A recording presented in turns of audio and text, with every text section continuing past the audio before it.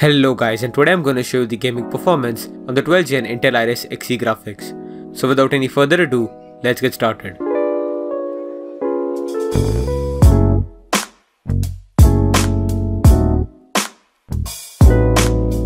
The Intel Iris Xe graphics were quite a big upgrade from the older UHD graphics that were on previous Intel CPUs. This time, on the Evo series 12 gen CPUs, Intel has chosen to keep the Iris Xe graphics but just update them a little bit. This video is to see how big the difference is and if you can still game a bit on the Intel integrated graphics. The laptop used in this video comes with the Intel Core i5-1240p CPU, 16GB of RAM, a 512GB SSD and the laptop is running Windows 11. The games that will be here will include Red Dead Redemption 2, God of War, Apex Legends and Elden Ring. So with that said, let's check the results in game.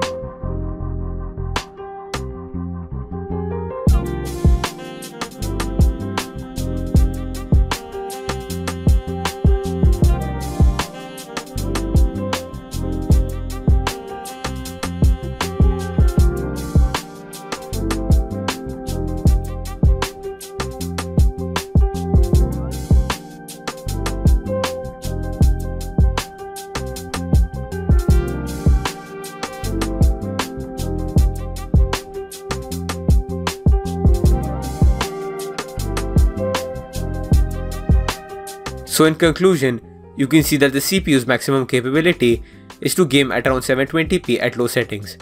Most games I've showed here give just about a playable experience and when comparing it to the 11 gen CPUs, there isn't really much of a difference. Even though in terms of CPU power, the 12 gen EVO CPUs might be an improvement, in terms of its graphics, especially when gaming, this doesn't really perform too well.